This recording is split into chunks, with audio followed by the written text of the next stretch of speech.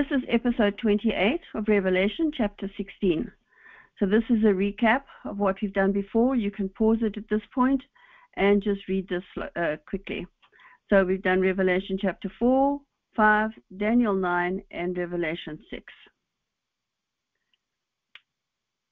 If you can pause this page and read it if you want to recap on Revelation 7, 8, 9, 10, and 11, which is the seventh trumpet and you can have a recap and, and uh, pause at this point and read this for chapter 12, 13, 14, and 15. And this is, we're now on chapter 16. Chapter 15, one of the four living creatures gives seven bowls containing seven plagues to seven angels, and that's where we start. So this is where you are now. The last trumpet is sounded, and you are here. We're about to go through the seven bowls. Verse 1.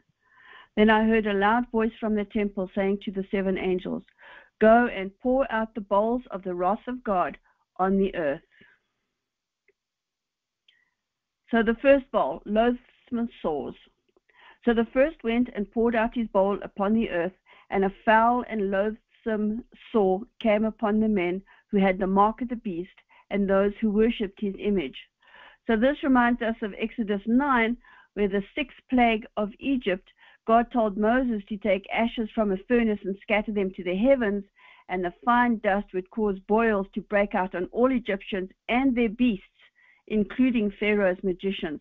So once God has figured out a method, he'll do it again and again.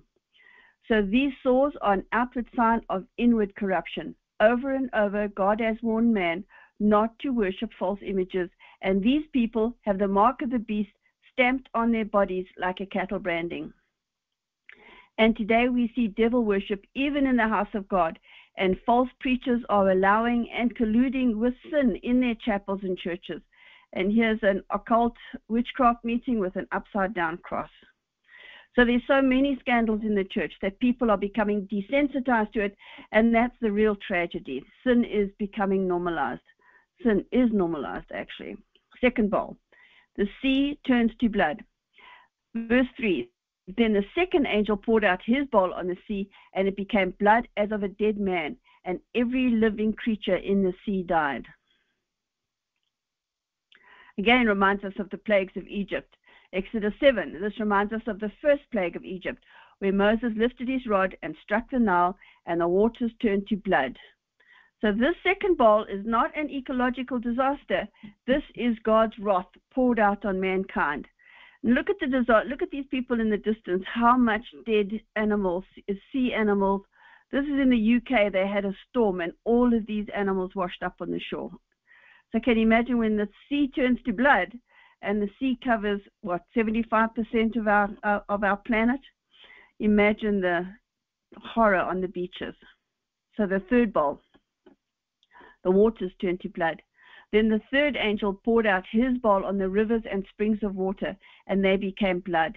And I heard, heard the angel of the water saying, You are righteous, O Lord, the one who is, and who was, and who is to be, because you have judged these things.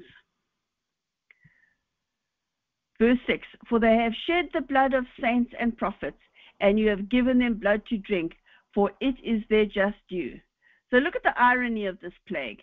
These wicked demonic men that worship Satan and the, the Antichrist have gleefully taken the blood of the saints. They murdered them. And now God gives them only blood to drink. So look at the irony of that. And here's the Nile that turned to blood. Verse 7 And I heard another voice from the altar saying, Even so, Lord God Almighty, true and righteous are your judgments. Note that heaven hammers away at this point, that God is justified, that the Lamb is worthy. There's never even a hint that the punishment does not fit the crime. You take out my saints, I'll give you blood to drink. Fourth bowl. Men are scorched. Verse 8. Then the fourth angel poured out his bowl on the sun, and power was given him to scorch men with fire. Don't forget the Egyptian pharaohs worshipped Ra, the sun god and men were scorched with great heat, and they blasphemed the name of God, who has power over these plagues, and they did not repent and give him glory. So here God is showing them who is actually the God of the sun. They think it's Ra, uh-uh, no. So, and, but they know now it's not, and that's why they blaspheme the name of God, because they realize that God has power over these plagues. And they do not repent and give Him glory. It's astonishing that these earth dwellers never repent. Sun worship was the earliest form of paganism, originating on the plains of Shinar in Babylon, modern Iraq. Nimrod, an Assyrian and the first world dictator, built his Tower of Babel in Babylon, the city that he founded, with the intention that its top reach into the heavens, in defiance of God who told him all to spread out and fill the earth. Joseph writes of Nimrod Nimrod persuaded mankind not to ascribe their happiness to God, but that Nimrod's own excellency was the source of their happiness. And so don't ascribe it to God. The Nimrod, I'm it and he soon changed things like any good dictator. He soon changed things into a tyranny, thinking there was no other way to wean men from the fear of God than by making them rely upon his own power. Nimrod is spoken of as a great hunter, except that he enjoyed hunting men and shedding their blood.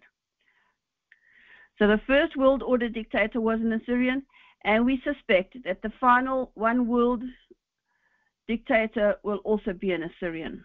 Micah 5 says, prophesying on the judgment of Israel's enemies, when the Assyrian comes into our land, and when he treads in our palaces, then we will raise against him seven shepherds and eight princely men. They shall waste with the sword the land of Assyria, and the land of Nimrod at its entrances. Thus he, God, shall deliver us from the Assyrian, when he comes into our land, and when he treads within our borders. First world dictator, last world dictator. Fifth bowl, darkness and pain. Then the fifth angel poured out his bowl on the throne of the beast, and his kingdom became full of darkness, and they gnawed their tongues because of the pain. So the ninth plague again, and God uses these plagues over and over, and the ninth plague in Egypt was darkness, and now this plague, the fifth bowl, is darkness. Remember, Adam sinned and thereby gave dominion of earth to Satan. So earth became the kingdom of Satan and the throne of the beast. So he poured out his bowl on the throne of the beast and his kingdom. So this is not just actual darkness, though that is too. It's also spiritual darkness when you are separated from God. And then you kind of look like that. So, verse 11 they blasphemed the God of heaven because of their pains and their sores and did not repent of their deeds. So they blaspheme and they don't repent. Again and again they refuse to repent. Things get worse and worse and more and more punishing, yet the earth dwellers just get angrier and angrier and more and more stubborn. And this is happening because of their deeds, but they deny any accountability. They refuse to take responsibility for their actions, which is worshiping Satan. Remember three chapters back, we're in chapter 16 now, three chapters back in Revelation 13, when they were adoring the beast and they were worshiping the beast, saying, Who is like the beast? Who is able to make war with him? The answer is God. God is able to make war on the beast. Sixth bowl, Euphrates dried up. Verse 12. Then the sixth angel poured out his bowl on the great river Euphrates and its water was dried up, so that the way of the kings from the east might be prepared. So the Euphrates is a huge river, kind of like the Mississippi. It's over a mile wide in places, and it's usually 10 to 40 feet deep.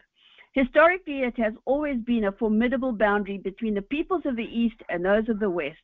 And the Roman Empire did not cross the Euphrates. They never got across to conquer the east. And they lived in cautious fear of those eastern nations like the Persian Empire.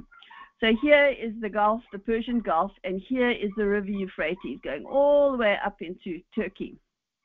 And it's very broad, and back in the day, you couldn't get across it. So you, you, you if you had to, if you wanted to get to Israel, and this is an itty bitty little piece of Israel. Now remember, Israel, God said Israel had all the way from the uh, uh, Mediterranean across to the Euphrates.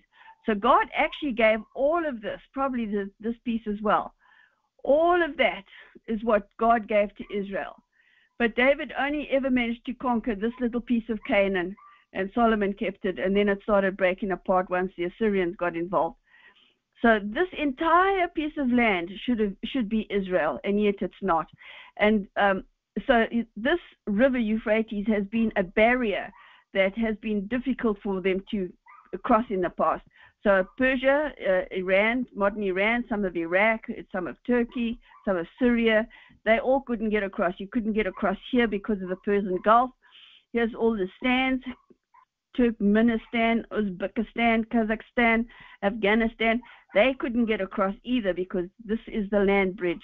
And of course, Russia, when Russia comes, if you want to get your tanks, you've got to have a dry Euphrates. So now that the sixth bowl and the Euphrates has dried up, uh, it's it's a problem now because the, the, the, the, armies can mass themselves against Israel. This itty bitty teeny little country here. Verse 13. And I saw three unclean spirits like frogs coming out of the mouth of the dragon, out of the mouth of the beast, and out of the mouth of the false prophet. So here we have our evil trinity Satan, the Antichrist, and the false prophet. And these three demonic forces convinced the world to go to war against Israel. They couldn't mass their armies before because of the Euphrates, but now that it has dried up, they can cross. But just as God opening the Red Sea proved a trap which led to the destruction of the pursuing Egyptian army, so the drying of the Euphrates is another trap set by God to obliterate Israel's enemies. And the armies of the east will take the bait and fall into God's trap. For they are spirits of demons performing signs which go out to the kings of the earth and of the whole world to gather them to the battle of the great day of God Almighty. Frogs are noisy creatures, plus they live in the mud or under rotting vegetation. These demon frogs, they're really just demons, creep and croak, and their noise fills the ears of nations. These unclean spirits are loosed to deceive the kings and governments of the earth to join in this military expedition to overrun Israel which proves to be the most disastrous expedition ever undertaken. In 1 Timothy, Paul tells us that in the last days, now the Spirit expressly says that in latter times some will depart from the faith, giving heed to deceiving spirits and doctrines of demons, speaking lies in hypocrisy, having their own conscience seared with a hot iron. So they have no empathy, no sympathy, their consciences have been seared. Verse 15. Behold, I, Jesus, am coming as a thief. Blessed is he who watches and keeps his garments, lest he walk naked and they see his shame. So Jesus gives this last, final, absolutely no more ultimate, this is the last one, closing, terminating warning. I come as a thief in the night, be prepared. So if Jesus is still warning the people, then there must still be a tiny, tiny band of people that have somehow managed to survive the seven seals and the seven trumpets and the seven bowls. And they've still not taken the cattle branding of the Antichrist mark and still not bowed to his image. These are hardy men and women. So Jesus reassures this tiny remnant to hang in there. Blessed is he who watches, and he will come again unexpectedly. So these must be people that are hiding out in the mountains, hiding in caves, deep in the forest, deep in the Amazon forest. Uh, there, has got to be if if Jesus is giving his final warning, there has to be a few people, but we don't really know. But I would think there would be people hiding in caves and stuff. 16. And they, the nations of the world, gathered them together to a place called in Hebrew Armageddon. And the seventh bowl, the earth utterly shaken. Verse 17. Then the seventh angel poured out his bowl into the air, and a loud voice came out of the temple of heaven from the throne saying, It is done.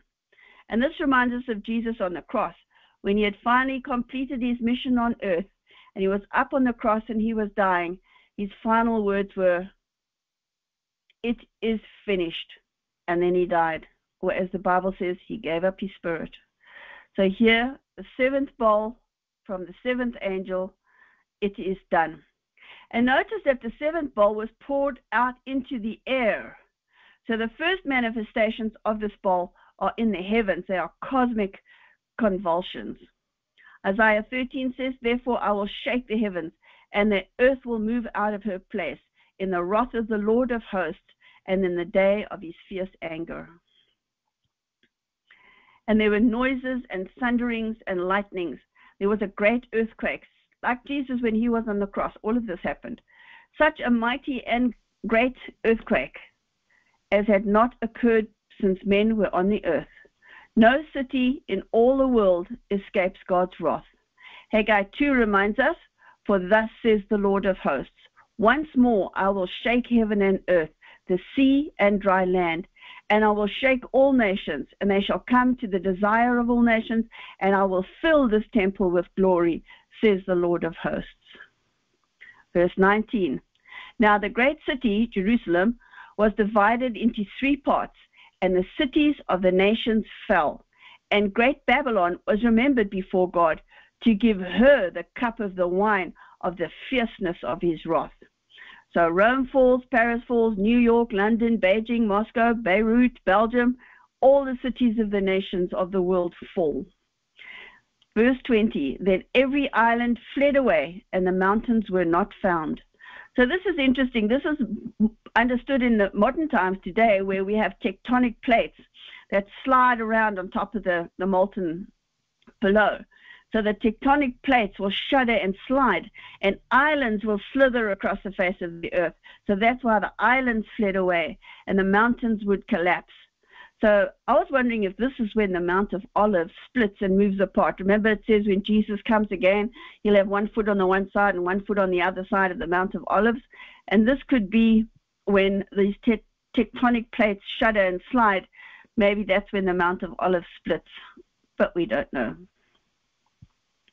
Verse 21 And great hail from heaven fell upon men, each hailstone about the weight of a talent, which is about 100 to 130 pounds. Men blasphemed God. Yeah, they do it again. Men blasphemed God because of the plague of the hail, since that plague was exceedingly great. So the penalty for blaspheming was stoning. And what's God doing here? He's stoning the blasphemers. Now these are about 60 pound balls, and in the back in the day, the uh, the catapult that the Romans used, when they put these balls in there and they pounded away at a at a city wall, they could break a hole right through the wall. And don't forget, back in this day, these walls were 20 foot thick. They weren't one brick thick like we build today. These walls were 20 foot thick. And so these things would hammer away and hammer away and hammer away at a spot until finally they would break right through a 20 foot wall. So to be, uh, for this great hail, which are 100 to 150 pounds, uh, I mean, look at this hail blob that's fallen on this car. It's just astonishing the I got I got caught in a hailstorm one time, and this the hail was about the size of tennis balls, and I was running for shelter. And in that time, I got hit by a couple of those balls of, of hail, and my whole body, all my muscles seized up like I was. Uh, it was amazing. I couldn't move my arms or my back or anything. I had to get injections into my muscles to release them because the the shock of the of the tennis balls of hail hitting me. I was running like this guy, and it was hitting my back as, as I was running for for shelter. So when these things are this size, man. Okay, it appears that judgment cannot produce repentance, and preaching hellfire and brimstone doesn't bring people to Christ. Although people must be made aware that without salvation they get hellfire and brimstone as a consequence. What draws people to God is His grace and mercy. God changes hearts through His love. Grace and mercy are actually opposites. So, mercy, like you get from a judge, is not getting what you deserve, and grace, like you get from God, is getting what you don't deserve. And like Moses was drawn to God by a burning bush that was not being consumed, he was puzzled enough to go and check it out. So the bush was a thorn bush, symbolizing sin, and fire is a symbol of judgment. And the fact that the bush was not consumed is a symbol of God's grace and mercy. Grace attracted Moses, not God's judgment. So here's the seven bowls as we'll whip through them again. We got the sores that, took, uh, that affected all of those that had the mark of the beast. The sea turns to blood, all the creatures die. The rivers turn to blood, nothing to drink. Mankind is scorched by the sun, and what do they do? They blaspheme God. The beast's seat of government is afflicted. The Euphrates is dried up, and the world armies gather to Armageddon, and the earth is utterly shaken. And if you've ever seen a terrier dog grab a cloth or a dog, a, ball or something, or a bone, and shake it. I mean, that, that's quite. That's how I see this. The earth is utterly shaken. So before the next session, if you've got the time, try and find 30 minutes to read Revelation 17, 18. We've just done 16. Read Isaiah 13 and 14 and Jeremiah 50 and 51. And you'll see how God has foretold for, you know, since the beginning of time, the total destruction of Babylon. And these they're just Babylon falling, Babylon falling. But all of these, all six of these chapters is just Babylon falling. So try and find 30 minutes. So at the end of each session, we track the meaning of the images. And so I've updated this to say chapters 15 and 16, where we had seven angels with seven bowls and seven plagues. So this is the end of episode 28, chapter 16. Seven bowls are poured out, and it is done. And Revelation is the one book in the Bible that says, Read me and be blessed. So blessed is the one who reads aloud the words of this prophecy, and blessed are those who hear it and take to heart what is written in it, because the time is near. So thank you for spending this time with me. Please follow me to episode 29. God bless. Shalom.